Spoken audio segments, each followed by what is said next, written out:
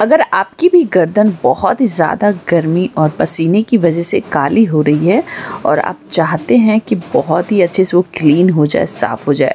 Actually दोस्तों, ये जो काली गर्दन होती है, इसमें बहुत ही ज़्यादा टैनिंग वगैरह की समस्या होती है। टैनिंग जम जाता है पसीने की वजह से ख़ास तौर पे और उसके साथ साथ ही अगर आप इसको रेगुलर वे में अच्छे से साफ़ नहीं करते हो ना तो गंदगी भी धीरे धीरे जमने लगती है। तो आज मैं आपके साथ बहुत ही पावरफुल रेमेडी शेयर कर रही हूँ।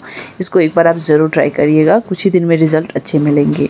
उसको बनाने के लिए आपको चाहिए होगा एक कटोरी में एक चम्मच दही, एक चम्मच चावल का आटा और आधा चम्मच यहाँ पे ऐड कर सकते हैं आप बेकिंग सोडा और फिर इसमें आप ऐड कर दीजिए आधा चम्मच कॉफ़ी और उसके बाद इसमें आप ऐड कर सकते हैं नींबू का रस, जो कि बहुत ही अच्छा जो है ना गंदगी और मैल को साफ़ करने में हेल्प करता है।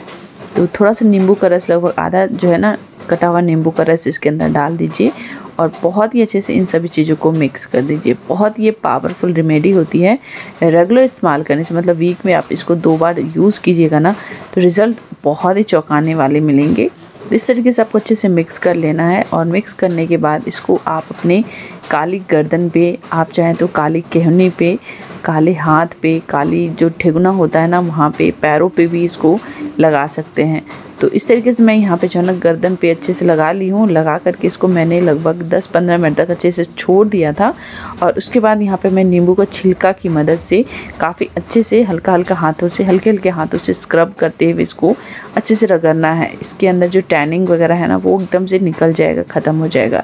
एक बार के इस्तेमाल से तो आपको अच्छा उतना रिज़ल्ट नहीं मिलेगा, लेकिन रेगुलर इस्तेमाल करोगे ना, फ़र्क दिखेगा दोस्तों। एकदम से टैनिंग जो है ना ख़त्म हो जाएगा और गर्दन एकदम से साफ़ साफ़ सी दिखने लगेगी।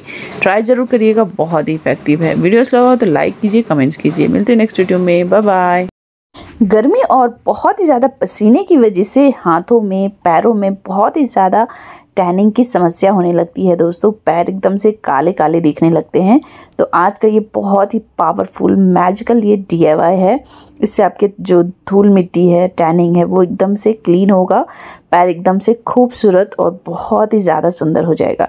ट्राई ज़रूर करिएगा, बहुत ही इफ़ेक्टिव आज का ये मैजिकल नुस्खा है। तो कैसे इसको बनाना है आपको? इस पैक को बनाने के लिए आपको चाहिए होगा बेसन। तो यहाँ पे आपको दो चम्मच जो है ना बेसन ले लेना है और उसके साथ साथ यहाँ पे बेकिंग सोडा लेना है। सोडा क्या करता है?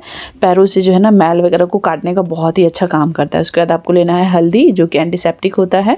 दही लेना है आपको दो चम्मच। और उसके बाद यहाँ पे ऐड कर सकते हैं टमाटर का एक चम्मच पल्प और उसके साथ साथ आप चाहें तो नींबू भी यहाँ पे ऐड कर सकते हैं। सभी चीज़ें जो है ना, बहुत ही बढ़िया जो है ना रिमेडी है। आपके टैनिंग को हटाना, आपके जो पैर हाथ में मैल जम जाती है, वो सब चीज़ को बहुत ही अच्छे से क्लीन करता है और ये बहुत ही पावरफुल जो है ना डी पैक है। अक्सर इसी तरीके का आपका पैर हो जाता है, काला हो जाता है और क्या होता है रेगुलर वे में अगर इसको आप क्लीन नहीं कर पाते हो तो ऐसे ही दिखने लगता है। तो अगर आप रेगुलर वे में इसको क्लीन करते रहोगे, इस तरीके का डी लगा करके मसाज करते रहोगे ही दिन में जो है दोस्तों, बहुत ही बढ़िया इफ़ेक्ट दिखेगा। तो मैं इस तरीके से इसको लगा करके रोज़ाना कुछ देर मिनट जो है ना मसाज करती हूँ, फिर दस मिनट छोड़ देती हूँ। ऐसा नहीं कि मैं कह रही हूँ कि एक बार में आपको बहुत ही अच्छा रिज़ल्ट मिलेगा। रेगुलर इस्तेमाल कीजिए, आपको फ़र्क दिखेगा। लगाते लगाते आपको कुछ ही दिनों में ना पैर, हाथ एकदम से खूबसूरत और बहुत ही अच्छा दिखना लगेगा। पैर एकदम से लगेगा कि वाह बहुत ही बढ़िया हो गया है। तो आप एक बार ट्राई करिएगा तो आपको रिज़ल्ट बहुत ही अच्छा मिलेगा। ट्राई कीजिए और आपको इसको वीडियो पसंद आए तो इस वीडियो को ज़्यादा से ज़्यादा लाइक कीजिए। Thanks for watching